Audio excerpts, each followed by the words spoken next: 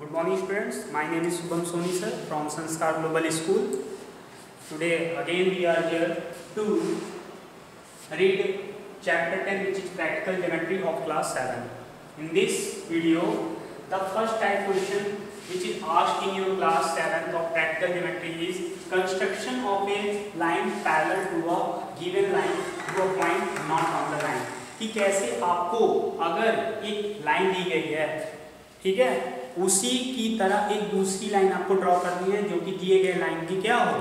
Parallel हो। किसके माध्यम से? एक पॉइंट के माध्यम से। और वो पॉइंट उस दिए गए लाइन पे लाई नहीं कर रहा हो, बल्कि आउटसाइड लाई कर रहा हो। ठीक है? तब आप कैसे करते हैं? जैसे यहाँ पे देखिए, पहला क्वेश्चन है draw a line A B आपको एक लाइन क्या करनी है? ए बी ड्रॉ करनी है। ठीक है? Take a point C outside और एक बार आपको पॉइंट सी लेना है। ठीक है? और थ्रू सी सी से एक लाइन आपको ड्रॉ करनी है, जो कि दिए लाइन दिए गए लाइन ए बी का क्या होगा? पैरेलल तो आप देखिए क्या करते हैं। आप ये स्टेप्स ऑफ़ कंस्ट्रक्शन है, यानी जो आप करते हैं, जो आप यहाँ पे करते हैं, वो आप यहाँ पे हमने लिख के बताया है। वही वही स्टेप आप यहाँ फॉलो करते हुए कंस्ट्रक्शन करते हैं। लेकिन इसमें आपको याद रखना है रूलर यानी पटरी और कंपासेस का इस्तेमाल करना है। प्रोटेक्टर और कंपास होता है, जो नीडल वाला होता है, वो आपका कंपास कहलाता है। और जो आपका सेमी सर्कल के फॉर्म में ऑब्जेक्ट होता है, वो आपका प्रोटेक्टर कहलाता है। तो कंपास और रूलर का इस्तेमाल करके आपको ये कंस्ट्रक्शन करना है। तो सबसे पहले हम क्या करते हैं? इसको करने के लिए draw a line segment A B सबसे पहले हमने एक line segment A B draw कर लिया। ये देखिए draw a line segment A B without any line कोई लाइन की रिक्वायरमेंट नहीं बस आप ऐसे एक लाइन लाइन ड्रॉ कर दीजिएगा, ठीक है? Draw a line A B कर दीजिएगा लाइन सेगमेंट हटा दीजिएगा। Construction of a line draw a line कर दीजिएगा सेगमेंट हटा दीजिए, ठीक है? आपने एक लाइन ड्रॉ कर लिया A B and take a point capital C और आपने एक पॉइंट ले लिया कैपिटल सी जो कि ए बी के क्या है? बाहर है। ए बी में नहीं लेना है। ए बी के बाहर तो मैंने यहाँ पे ले लिया। फिर कह रहा है take any point D on A B इसके बाद आपको दिए गए जो आपने लाइन ए बी पे ए बी खींचा है, उसी पे एक पॉइंट ले लीजिएगा डी तो मैंने यहाँ पे ले लिया डी इसके बाद आप क्या करेंगे? And join C to D दिए गए आउटर पॉइंट सी को डी से ज्वाइन कर लीजिएगा मैंने ये देखिए सी डी को ज्वाइन कर दिया। फिर कह रहा है? With D as centre and take convenient radius draw an arm cutting A B at E and C D at R आप अपने कंपास की निडिल को डी पे रखते हुए एक आर्क ड्रॉ करेंगे। आप अपनी कंपास की निडिल को डी पे रखते हुए एक आर्क ड्रॉ करेंगे। कंपास की निडिल आप यहाँ डी पे रखिएगा और एक आर्क ड्रॉ करिएगा।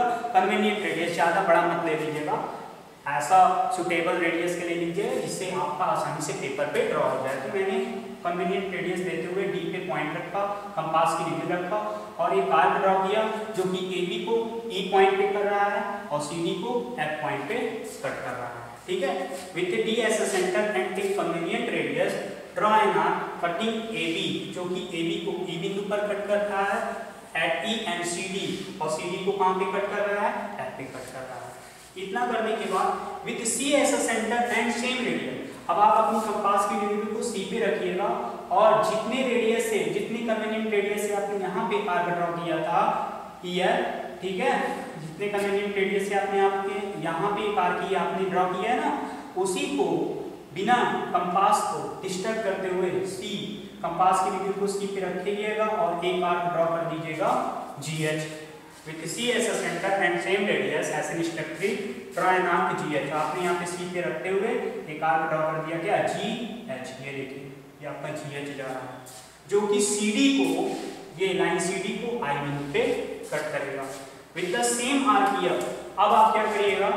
यहाँ पे आप अपनी कंपास की नीडल पॉइंट ई पे रखिएगा और कंपास के पेंसिल पॉइंट को इस तरीके से स्ट्रेच कीजिएगा तो वो यहाँ पे एफ़ पे आ जाए फिर जब ये हो जाए ऐसा तो आप ऐसे ही उठाकर बिना डिस्टर्ब के हुए आई पे रखिएगा और एक आर्क कट कर दीजिएगा जी एच पे, जो कि जेड पे कट करेगा। With the same arc here draw the equal arc cutting G H को जो कि कट करेगा जे पर फिर जब ऐसा हो जाए तो आप जे को सी से, ये ज्वाइंट जो मैंने जे आर कट किया है जे को सी से मिला दीजिएगा। Draw a line here join J to C draw a line here this is the required line A B parallel तो ये जो लाइन है ये एबी के पैरेलल ड्रॉ हो गया। इस तरीके से आप किसी भी लाइन को, कोई भी लाइन को कंस्ट्रक्ट कर सकते हैं, दिए गए लाइन के along in the form of parallel parallel के फॉर्म में, ठीक है? तो construction of a line parallel to a given line through a point not on the line आप इस तरीके से इस वाले क्वेश्चन का कंस्ट्रक्शन करते हैं। सेकेंड टाइप है आपका construction of a triangle when the length of its three sides are given आपको अब दूसरा जो क्वेश्चन है, उसमें आपको कंस्ट्रक्शन करना है एक ऐसे ट्रायंगल का, जिसमें आपको तीनों साइड्स दी गई होती है। जैसे construct triangle X Y Z आपको एक triangle X Y Z construct करना है, ठीक है? ये आपका पार्ट वन है, ये आपका पार्ट वन वीडियो है, ठीक है? ये भी ध्यान रखिएगा। ये चैप्टर टेन का वीडियो पार्ट वन है, ठीक है? Construct triangle Z in equal to 4.5 centimetre आपको एक तो ट्रायंगल कंस्ट्रक्ट करना है, जिसमें वाई की लेंथ 4.5 सेंटीमीटर है जेड की लेंथ 5 सेंटीमीटर है एक्स की लेंथ 6 सेंटीमीटर है, ठीक है?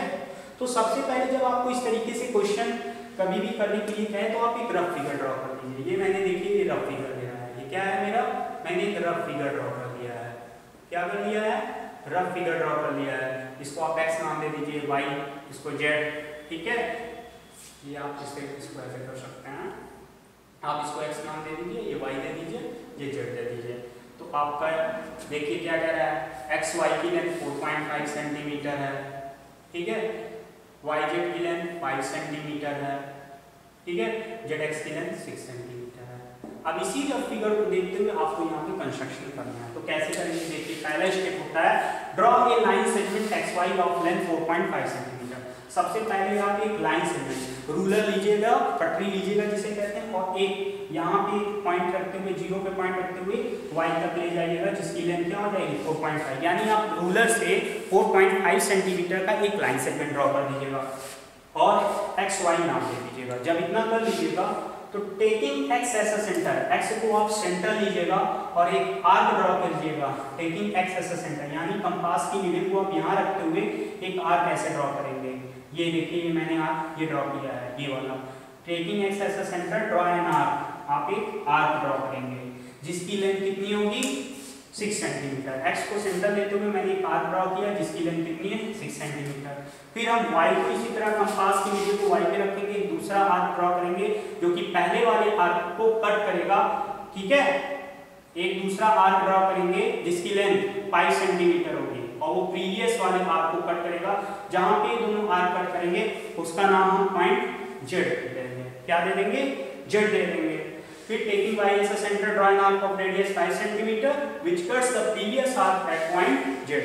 जब ये इतना हो जाए, आप जेड को एक्स से मिला दीजिएगा और जेड को वाई से भी मिला दीजिएगा। तो इस प्रकार से आपको ट्रायंगल एक्स वाई जेड मिल जाएगा, जैसा कि आपका क्वेश्चन में रिक्वायरमेंट था। ठीक है? Thank you